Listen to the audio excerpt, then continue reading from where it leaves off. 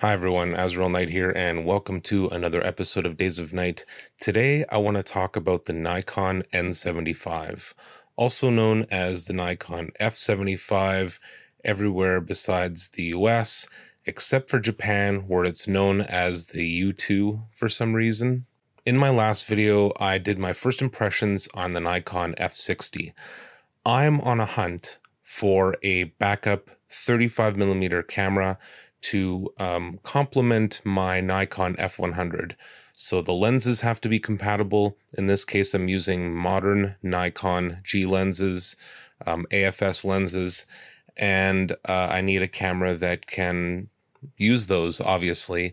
I also need a camera that will give me some of the features at least of a Nikon F100 and maybe some things the Nikon F100 can't provide like a lighter body, for example. I don't necessarily need something quite as robust as the F100, um, but I need something that can do, I would say, about 75% of the functions. If this is the first video of mine you've ever watched, then just a quick uh, recap.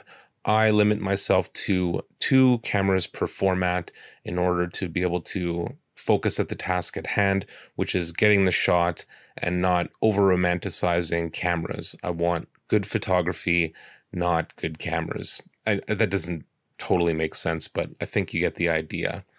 So right now I've just got the Nikon F100 as my main 35 millimeter camera. I don't have a backup. I used to have a Nikon FE, but I started buying G lenses and those aren't compatible with the FE. I took the liberty of writing down some criteria that I want in my backup camera. Um, so ISO control, and uh, I wanted ISO control before. I wanted to be able to change the speed of my film in case I wanted to push or pull it, in case it's expired, or I just want a higher speed. But now I have a second and even better reason for wanting ISO control. After many years of shooting film, I have finally taken the plunge and bought myself a bulk loader and 100 feet of HP5 and I'm going to start bulk loading my film. I worked out the numbers and I'm going to save approximately 39% on my film. Two reasons why I haven't bulk loaded film before. Uh, the first being is extra dust. I'm concerned that when I transfer the roll of film into the bulk loader, I'm going to introduce more dust into my film negatives, which will show up as black specks in the end result, being that they were already there when the film was exposed. The second reason being that I've experimented with a lot of different kinds of film over the years, and I haven't really settled on one film. I finally done that. I am I am going with HP5. I would love to stick with Tri-X, but I just can't justify the cost. It is first off, it is the most expensive bulk film that you can buy at B&H Photo, and I'm just not happy with Kodak these days.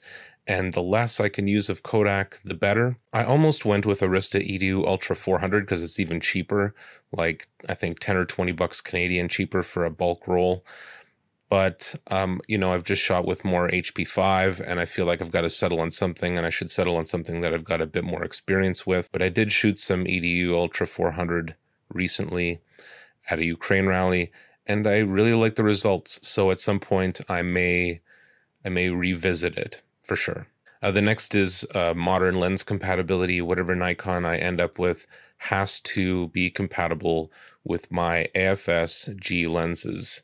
So that's pretty simple. They've got to work with my lenses that I've got already. Because as I've said before, the more lens compatibility that I have, um, the less lenses that I need to use and the more I can spend on each lens. The next one is I think my backup camera should be lighter than my f100. I think it should be like a, ideally a tight little package. Uh, it's not, I'm not 100% on this. It's not a make it or break it. If it follows all of my other guidelines and it happens to be the same weight or even a bit heavier, I think I can forgive it but the F100 is about as big and as heavy as I want in a camera. The camera should also be inexpensive and easy to replace. So in an ideal world, I would just buy an F6 and call it a day. Just there we go. However, um, it's impractical. it doesn't give me, at least for me, anything more than the F100 does. The F100's a few hundred dollars. You can buy ones that are next to new for I think seven or eight hundred Canadian. Um, but then there's the cost of repair, and that's where it really becomes a deal breaker for me. I don't want to have to spend hundreds of dollars to get it repaired if it uh, something goes wrong. So for the backup body, it should be something that I can just sell as broken and buy another one.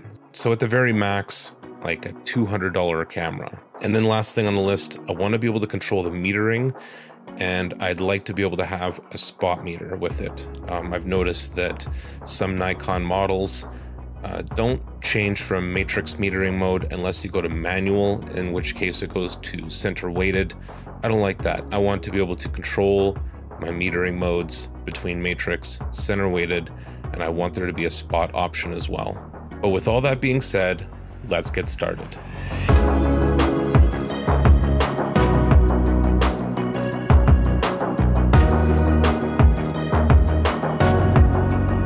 So the Nikon N75 or F75, or for some reason U2, was released or at least introduced in February 2003, right on that overlap between film and digital, where people were starting to buy more digital cameras and film cameras were getting eh, kind of cheap and flimsy. And the first thing that you're going to notice about the F75 or N75. I'm probably going to be switching back and forth here between the two. I think I've got an N75. The first thing you're going to notice about the N75 is that it's light and plasticky, which for me, I don't care. It's uh, had 19 years to prove that a plastic camera isn't necessarily going to fall apart, and I like the lightweight. Um, when I use the camera, in my tests, one of the things that I enjoyed was being able to pull the camera out of my bag with a lot less effort. And I mean, the F100, it's not heavy, it's not hurting me or anything. Um, but when you're switching between two cameras, um, like I was, I had an F100 with a telephoto and I had a wide angle with the F75 or N75. I'm going to keep doing that, sorry. Is that, um, you know, switching back and forth, it was a lot easier just to grab the small lightweight camera out of my bag. I could probably use a bigger bag, which is the reason why I want the smaller model. I'm rambling. I'm rambling. Anyway, moving on. I'm going to show you some of the features of the N75. Uh, not all the features. This is by no means a manual. Um, I'm not an expert on it. This is a first impressions video. But I will definitely show you some of the things that I found interesting, some of the features I have enjoyed, some of the ones I didn't care about, and some of the ones I didn't care for. After that, I'll show you some test photos, then I'll give you some pros and cons and let you know if this camera is even worth owning. So here it is the Nikon N75, and I used my 24 to 120 millimeter f4 GED lens, and as you can see, it makes it absolutely just a beast of a camera. Completely defeats the purpose of of a small compact uh, body. Let's just uh, give it a quick weigh in here and see what we're dealing with as far as how much weight it adds to it. So 1.167 kilograms uh, with the lens and a mirror, 405 without it.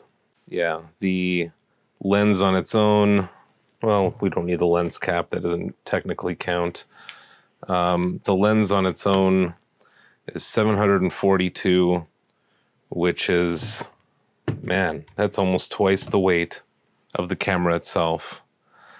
Yeah, that is that is crazy.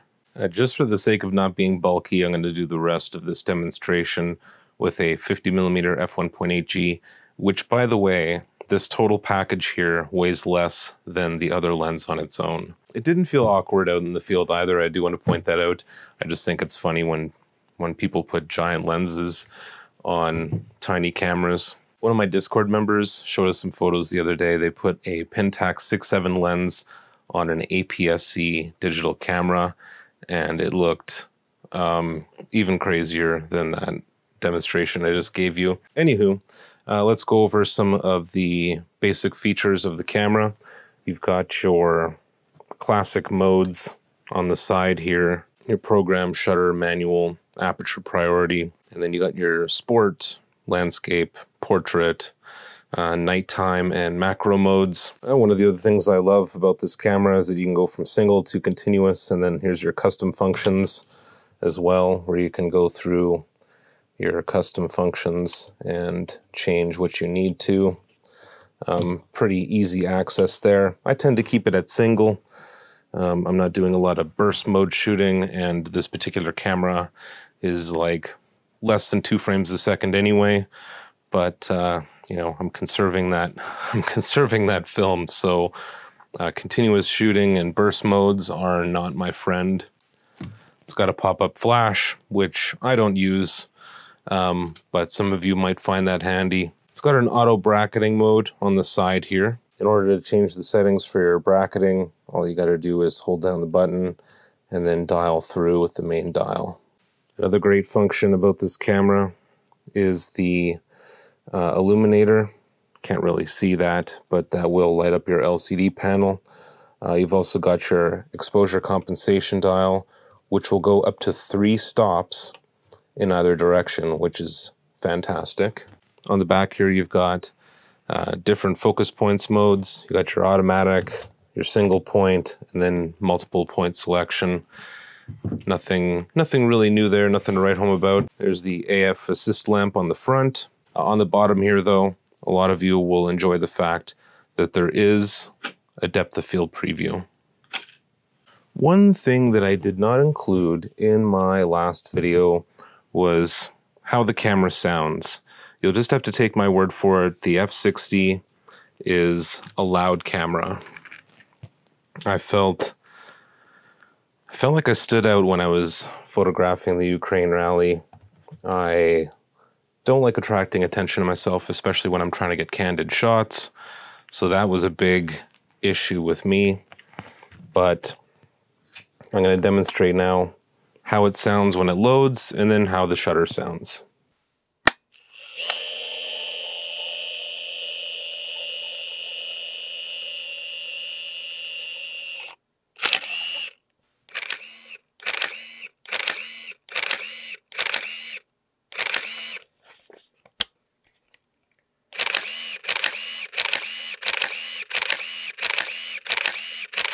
That's about it as far as my takeaway from the N75. I'm going to show you some test photos now. Here are some highlights from a recent Ukraine rally I attended. Oh, two actually. Um, over the weekend, there was one on the Saturday and the Sunday. The one on Sunday was supported by the mayor and local MPs, which I was very happy to hear and see. So, enjoy.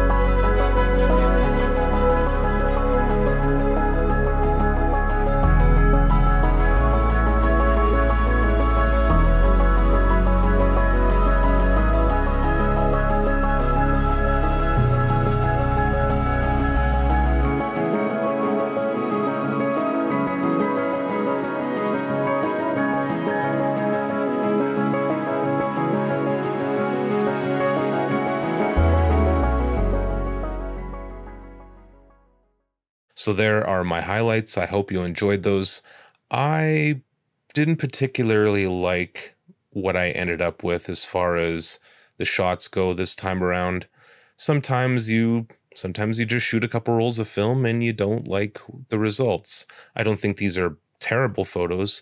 I think I could have done a little bit better, but the main thing was that I was using expired slide film and it was very apparent that it was expired.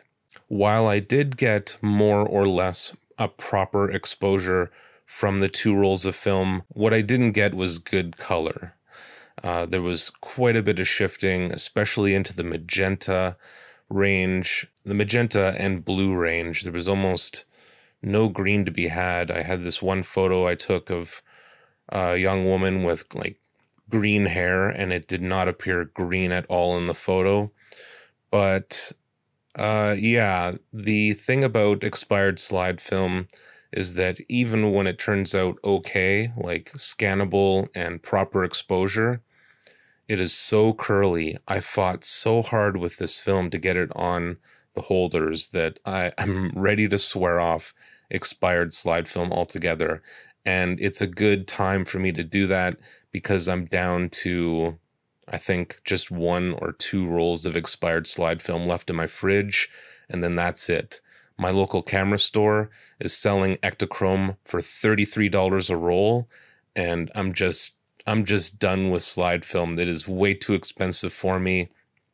Maybe some medium format in my fridge that I'll shoot with my Pentax 6.7. But as far as 35 millimeter slide goes, uh, game over, man.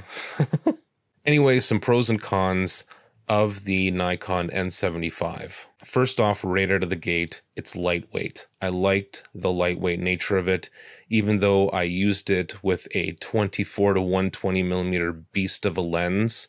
Snapping on a 50 millimeter f1.8 makes it this awesome, tight little package, very low key. Uh, when I use it again, I will definitely try it with either my 35 or my 50 millimeter lens. Uh, other pro, and this is specifically for me, is that it takes modern glass, AFS G lenses, and that is like priority one for me. I spent way too much money on Nikon glass in the last year. I bought a 50 millimeter 1.8, a 35 millimeter 1.8, and the 24 to 120 f4 and that I believe comes to around two grand way more that I've spent probably in the last 10 years on glass put together. One thing that I really liked about it over the F60, which I've already uh, gotten rid of, by the way, is that it is much quieter. The F60 was not only heavier, it was louder. And by a long shot, the N75 has a quiet shutter, and the rewind mechanism is probably quieter as well. I didn't test it, I probably should have tested it. The other thing that the N75 has is custom functions. Things like changing the uh, duration of a self timer, turning off the AF assist lamp, uh, you know, a bunch of other little functions. I believe there's 12 different custom functions. Don't quote me on that. But yeah, it, it helps to be able to, you know, make those little minute changes of things that you don't necessarily want, especially the AF assist lamp. So this is neither a pro nor a con, it's kind of neutral, but the fact that it pulls out the entire roll and then you shoot backwards into it, it's a little it's a little bit of both. So the pro of it is that if you accidentally open the back or it gets dropped and the back flies open, all the photos that you've taken so far are saved because they're in the canister. Um, one of the cons is if there is a light leak along the border, then all of your photos are going to get um, exposed to that light leak. The people who've had light leaks on their back door um, of their cameras know that the longer you take in between shots, the more it is exposed to that light leak. So if you shoot a quick roll or if you've got your camera in your bag for the majority, you can sort of cheat or subvert the light leak, at least uh, the majority of it. Um, but having that whole roll exposed to a potential leak, not so great. While you do save time unloading your film canister in between rolls, uh, you still have to pop in the new one and wait for it to pull the whole roll out. And I've found that, you know, it's, you know, one step forward, one step back. So it doesn't really do anything for me there. If you're really hell bent on having the numbering system work in your favor, well, then it's going to be complete opposite for you when you use the N75 because 36 is your first shot and one is your last shot. Now, in the case of my uh, expired slide film, it had the old thinner lead, which I had to cut off in order for the camera to catch the film and load it, uh, which actually cost me a couple of shots. So a 24 roll was now a 22 roll, and I believe I got 33 out of the 36 roll. The advantage to that, though, is if you have a partial roll that uh, you know exactly how many frames you have. Like, let's say, and I've done this before, uh, you shoot part of a roll of film, uh, you cut it off in the dark room and develop part of it, and then you've got part of a canister left with an unknown number of frames. Um, pulling the film out and cutting it has sort of made you lose count. And uh, you put the roll of film into the N75, and it pulls out the whole roll, telling you exactly how many frames you have. No guesswork there. I think that's probably the greatest advantage of having it. Now, I would love that for uh, when I start bulk loading my film, except it brings me to my first con, which is no ISO control. If this thing had the ability to change the speed of my film, it'd be fantastic. And it defaults to 100, um, not 400, which is what I normally shoot at. So I'm forced to underexpose by two stops with the exposure compensation if I want to shoot at 400. It is frustrating. And I know people out there say that it's a prosumer camera and it's meant for the amateur. Well, you know, a lot of people are saying that it has most of the features of the F5, including the great Ken Rockwell. So, which is it? Again, I think it's a basic function to have ISO control. It is one of the three main things that create a proper exposure. So, relying on DX, really frustrating. Also, no meter control and no spot metering. I touched on this at the beginning of the video and you know my reasoning behind that. I want control. I want to be able to not have to use or rely on exposure compensation in backlit situations. I want to have metering control at the very least, and I'd also like to have a spot meter. It has matrix metering, it has center weighted metering, but the only way you can use center weighted is to switch to manual. Why? Why? Why? I don't like it. So, all those pros and cons has led me to say that for now, this will be my backup uh, camera, but it is only a placeholder. It is only to have a backup camera. The F60 didn't make the mark. I didn't like using it whatsoever. Um, another reason why I like the F75 more, or N75, whatever, uh, is it has multiple focus points. So one in the center and that 12, 3, 6, and 9. Um, uh, whereas the F60 just had one in the center. So yeah, I was not happy with the F60, not even as a placeholder. I already had the F75. I had bought them around the same time. The F75 will be my backup camera only for now.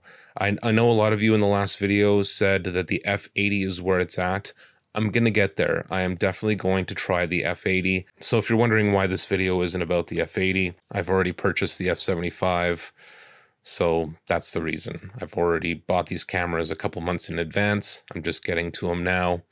I am listening for sure. So if you have other suggestions besides the F80, I'm definitely listening. But that's all for now. I hope you enjoyed this episode. If you did, you know, throw a thumbs up. Apparently, a thumbs down you can't even see anymore, so there's no point in leaving me one of those. Uh, you can also support me on Patreon where uh, you can get things like early access, free prints, and your name in the credits. You can also follow me on Instagram and Twitter. And until next time, stay classic.